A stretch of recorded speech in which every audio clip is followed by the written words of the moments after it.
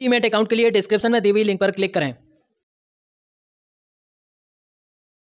इस वीडियो में हम उमा एक्सपोर्ट्स लिमिटेड कंपनी के आईपीओ की कंप्लीट एनालिसिस करेंगे, जिसमें हम कंपनी के प्रोडक्ट एंड सर्विसेज़ कंपनी के फाइनेंशियल आईपीओ डिटेल्स और मेरा क्या ओपिनियन है इस आईपीओ को लेकर इन सब बातों पर चर्चा करेंगे। मेरा नाम है शुभांश चौरसिया तो चलिए इस वीडियो को शुरू करते हैं। चलिए सबसे पहले कंपनी के प्रोडक्ट एंड सर्विसेज़ के बारे में समझ लेते हैं कि कंपनी किस फ़ील्ड से रिलेटेड है।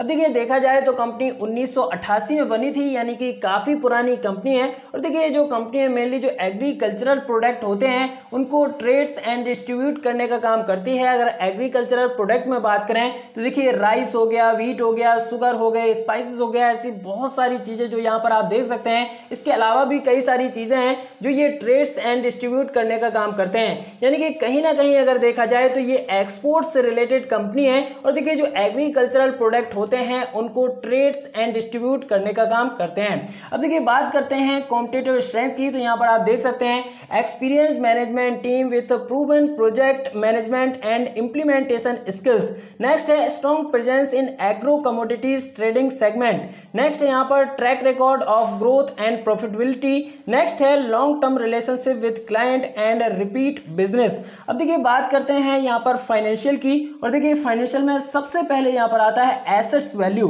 अब देखिए एसेट वैल्यू अगर 2019 मार्च में आप देखेंगे तो दस लाख के आसपास रही थी। वहीं अगर बात करें मार्च 2020 की तो ये बढ़कर इक्कीस लाख के आसपास होती हुई नज़र आई। लेकिन 2021 मार्च में बात करें तो थोड़ी सी कमी ज़रूर नज़र आई थी। जो कि उन्नीस लाख के करीब हुई थी। लेकिन अगर सितंबर 2021 तक की बात करें, यानी कि क्वार्टर जो पूरा फाइनेंशियल ईयर है, उसमें पहले छह महीने की बात करें तो बत्तीस लाख के आसपास कंपनी की एसेट वैल्यू होती हुई नज़र आई। यानी कि ज़बरदस्त उछाल यहाँ पर देखने को मिला है। और देखिए, पूरा पूरा जो फाइनेंशियल ईयर खत्म होते होते मुझे लगता है ये काफ़ी ऊँचा तक पहुँचता हुआ नज़र आएगा। अब देखिए, बात करते हैं यहाँ पर रेवेन्यू की। रेवेन्यू 2019 मार्च में आप देखेंगे बत्तीस लाख के आसपास इनका रेवेन्यू रहा। वहीं 31 मार्च 2020 को अगर बात करें तो इक्यासी हज़ार तीस लाख के आसपास रेवेन्यू होता हुआ नज़र आया। यानी कि रेवेन्यू आप देख सकते हैं ज़बरदस्त तरीके से बढ़ा था। लेकिन 2021 में अगर बात करें तो यहाँ पर आप देख सकते हैं रेवेन्यू पचहत्तर हज़ार दो सौ दो लाख के आसपास होता हुआ नज़र आया। यानी कि पिछले साल की तुलना में थोड़ा सा यहाँ पर कमी देखने को मिली। वहीं तीस सेप्टेम्बर दो हज़ार इक्कीस की बात करें तो यहाँ पर रेवेन्यू अभी तक पहले छह महीने में बावन लाख के आसपास होता हुआ नज़र आया। यानी कि अगर हम देखें तो देखिए ये छह महीने का है और अगर हम इसको डबल करें तो करीब एक लाख से भी ज़्यादा, एक लाख लाख से भी ज़्यादा यहाँ पर पहुँच जा रहा है। तो यानी कि रेवेन्यू भी यहाँ पर काफ़ी बढ़िया तरीके से ग्रो करता हुआ नज़र आ रहा है। अब देखिए, बात करें यहाँ पर प्रॉफिट की और प्रॉफिट किसी कंपनी के लिए बहुत ही ज़्यादा इंपॉर्टेंट है। और दो हज़ार उन्नीस मार्च में अगर देखें तो दो सौ अठासी लाख का कंपनी ने प्रॉफिट किया था। वहीं 2020 में अगर बात करें तो कंपनी का प्रॉफिट 832 लाख के आसपास पहुँचता हुआ नज़र आया। था, यानी कि करीब करीब तीन गुना के आसपास हो गया था। वहीं अगर 21 2021 मार्च की बात करें तो 1218 लाख के आसपास कंपनी का प्रॉफिट रहा था। और अगर सितंबर 2021 की बात करें, यानी इस फाइनेंशियल ईयर के पहले छः महीने की बात करें तो आठ लाख के आसपास कंपनी का प्रॉफिट छह महीने में ही मतलब पहले छह महीने में ही होता हुआ नज़र आ रहा है, यानी इसको डबल करेंगे तो ये पिछले साल से काफ़ी ज़्यादा निकलता हुआ नज़र आएगा। तो मुझे लगता है जो फाइनेंशियल है, काफ़ी ज़्यादा बेहतरीन है और कंपनी बढ़िया तरीके से काम करती हुई नज़र आ रही है। अब देखिए, बात करते हैं यहाँ पर आईपीओ डिटेल की। तो जैसे कि आपको पता है, अट्ठाईस मार्च से आईपीओ ओपन होने जा रहा है अप्लाई करने के लिए और तीस मार्च इसकी लास्ट डेट होने वाली है। बुक बिल्ट इशू होने वाला है, दस प्रति इक्विटी शेयर इसका फेस वैल्यू रखा गया है और पैंसठ से अड़सठ रुपए इसका प्राइस बैंड रखा गया। यानी अड़सठ रुपए में आपको एक शेयर अलॉट होगा। लॉट साइज़ की बात करें तो 220 शेयर एक लॉट में होंगे और मिनिमम आप 220 शेयर के लिए ही अप्लाई कर पाएँगे। लिस्टिंग की बात करें तो बीएससी एनएससी दोनों में ही आईपीओ लिस्ट होता हुआ नज़र आएगा। इशू साइज़ की बात करें तो पूरा का पूरा इशू यहाँ पर जो है फ्रेश इशू के ज़रिए लाया जा रहा है। ये अच्छी बात है, यानी पूरा पैसा यहाँ पर कंपनी में ही खर्च होगा कंपनी के डेवलपमेंट में ही खर्च होगा। और ये जो इशू है काफ़ी छोटा है, मात्र साठ करोड़ का ये इशू है और यहाँ पर रिटेल कैटेगरी के हिस्से की बात करें तो 35 परसेंट का यहाँ पर जो है रिजर्वेशन रखा गया है। यानी बहुत कम ये जो है अलॉटमेंट यहाँ पर मिलने की संभावना है, क्योंकि ऑब्वियसली छोटा आईपीओ है और छोटे आईपीओ में सब्सक्रिप्शन ज़्यादा होगा और जो अलॉटमेंट है, उसमें जो आपको अलॉटमेंट मिलने की जो प्रोबेबिलिटी होगी, वो काफ़ी कम होगी। लेकिन फ़िलहाल यहाँ पर पैंतीस का ही साठ करोड़ में से रिटेल कैटेगरी के लिए रिजर्वेशन रखा गया है।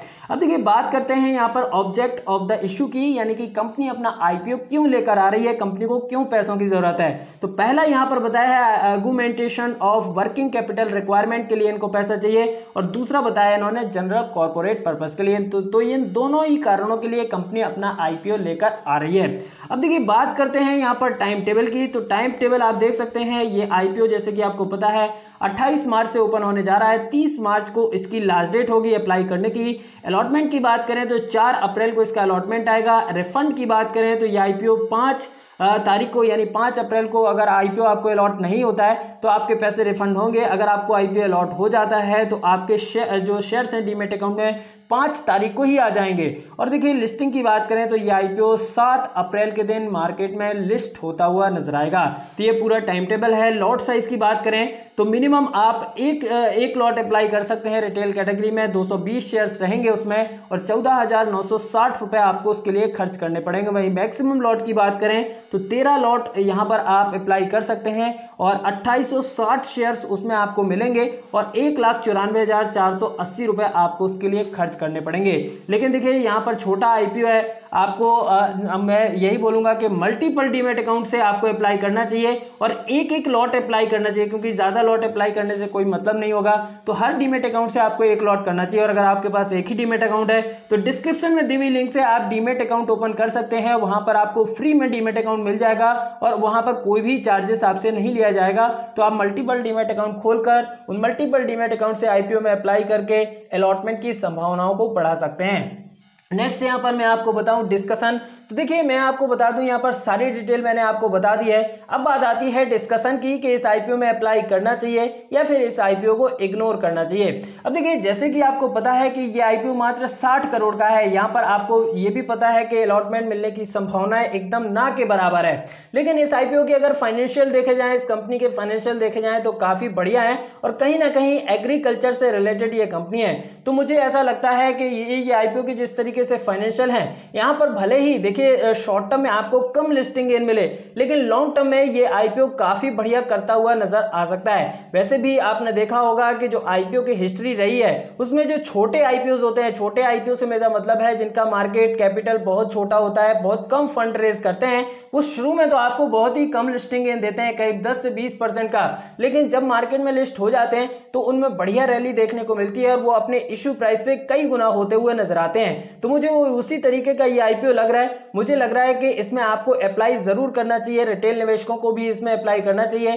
मुश्किल है अलॉटमेंट मिलना भी मुश्किल है, लेकिन फिर भी अपनी किस्मत को ज़रूर आजमाना चाहिए मल्टीपल डीमेट अकाउंट से अप्लाई करना चाहिए। देखिए, यहाँ पर भले ही मैं फिर से आपको बता दूँ लिस्टिंग इन आपको भले ही कम मिले, लेकिन यहाँ पर लॉन्ग टर्म के लिए अगर आप रहते हैं तो मुझे लगता है काफ़ी बढ़िया मुनाफा होने की इस आईपीओ में संभावनाएँ हो सकती हैं। अब देखिए लिस्टिंग गेन कितना होगा? प्रीमियम अभी मार्केट में देखिए, आया नहीं है। प्रीमियम के हिसाब से अगर आएगा, जब उस हिसाब से मैं आपको बताऊँगा। लेकिन फ़िलहाल जिस तरीके से ये आईपीओ है, जिस तरीके से मैंने अपनी एनालिसिस किया है, उस तरीके से मुझे ये लगता है कि भाई इसमें लॉन्ग टर्म के लिए आपको ज़रूर अप्लाई करना चाहिए। शॉर्ट टर्म में अगर आप रिस्की निवेशक हैं, दस बीस परसेंट का लिस्टिंग इन आप चाहते हैं तो मुझे लगता है कि आपके लिए भी आईपीओ सही रहेगा।